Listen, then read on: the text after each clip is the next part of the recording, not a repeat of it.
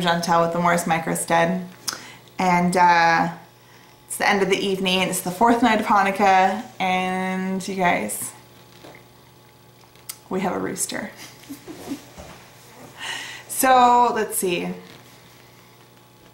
It's the evening and the kids are in bed all tucked away. And I thought I'd sit down and share a funny little story. Uh, it was like, I don't know, a couple nights ago, or I guess a couple mornings. It was, uh, I don't know, like five in the morning, I think. And my daughter, my youngest, Ava, she's just a couple months old, she was up nursing and she was just having a hard time getting back to sleep. So I ended up staying up. And uh, let's see, all of a sudden I heard this really whiny noise. I was like, it was like 5, 5.30 in the morning. And um, I was like, what is that? I thought my daughter was waking up, my other daughter was waking up and coming into bed.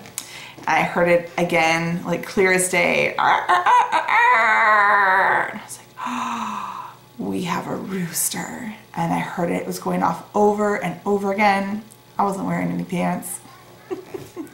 so I was like in a hurry. I like jumped up out of bed, woke up my infant, and I threw my pants on and I was like, it's gonna stop crowing. So I didn't even put shoes on. It was 18 degrees and I ran outside with my flashlight on my phone and I'm like looking to see if it's gonna crow again. And sure enough, it does. And it's my big chocolate Easter egger.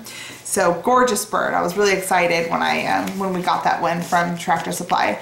But um, and it crowed and it is a mean rooster. I had to wrestle that thing to the ground and I lost my flashlight. It, like my phone fell to the ground and it's like screaming. It's like, arr, arr. and uh, for those of you that don't know, uh, we live in a suburban neighborhood. We have, I think we border one, two, three, four, like five or six houses. We're actually in this really weird spot where the, the street on the other side kind of like curves and so many like points of like the yards meet our house. And so um, yeah, our, our yard, our backyard borders like six other houses neighbor on each side and then like four or three or four on the back. So, so yeah, it's like 5.30 in the morning and this thing is screaming. And um, I finally get both of its wings and I'm able to like tuck it up under my arm and find my flashlight on the ground. And I come and I put it in a box in the garage and I text my husband we definitely have a rooster. And I think we have another one. I'm almost positive. I haven't heard it crow, but by the way it was acting when we released the rooster back out to the yard, it's definitely another rooster. So, and I had sus suspected for some time that we had two, two roosters um, from our batch of chicks that we got this year. So for those of you who don't know our story, we used to live on a 10 acre homestead in northern Washington and we had sheep and a llama and about 30 poultry um, and we downsized and came to southern Idaho um, to be near family. And we live in just a suburban neighborhood on a little over 8,000 square feet. Um, and so we are doing a suburban homestead, which we are calling the, our micro homestead. And over the last two years, we have um, implemented chickens and quail and a fairly like nicely producing garden, which we plan to extend little by little each year. The yard is was completely raw, just all weeds, bindweed and mallow, um, like wild lettuce, just tons and tons of um, weeds out there. And so little by little we're developing, adding in um, garden beds and just kind of conceptualizing what we really want that to look like. There's two sets of rules you have to consider when you have chickens within the city. There's the city's rules on chickens, and then if you have an HOA or you live in a subdivision, then it's like the HOA's rules or the CC&Rs. So um, our city that we live in has no rules on livestock, which is really uh, weird because it's like a metropolitan area. Um, it's very like, it's not like a rural city. Um, so, but still there's no rules on the amount of chickens that you can have. Um, we do live in a subdivision, but there is no HOA. There are some CC&Rs that have limitations on chickens, but they belong to an HOA that no longer exists. So it's kind of a great area for us. So still, um, the surrounding cities have um, limits that are roughly around like 10 chickens. And within city limits, you generally don't want to have a rooster just out of respect to your neighbors.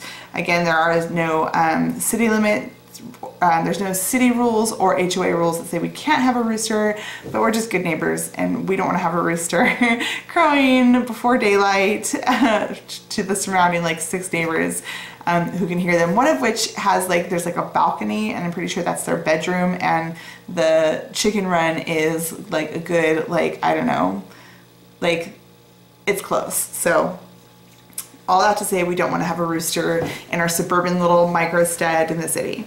So um, two roosters no less. so I think there are two mentalities, um, or at least two different kinds of people when it comes to chicken ownership and chicken husbandry. Um, and that is like the pets versus farm mentality. Um, and so while we don't have super pampered chickens, uh, we do have well-loved chickens. They are well-loved by a little girl who goes out and pets and snuggles them.